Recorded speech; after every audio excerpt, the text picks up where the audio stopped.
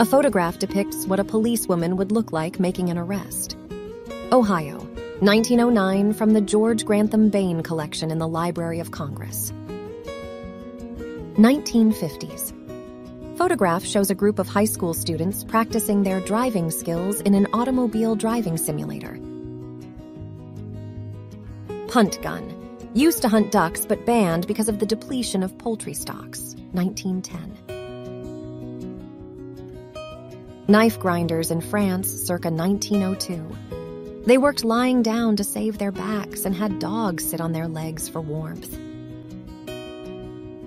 two members of the National Air Raid Precautions Animal Committee carrying a dog in its so called animal ambulance following one of the German bombing raids during World War II.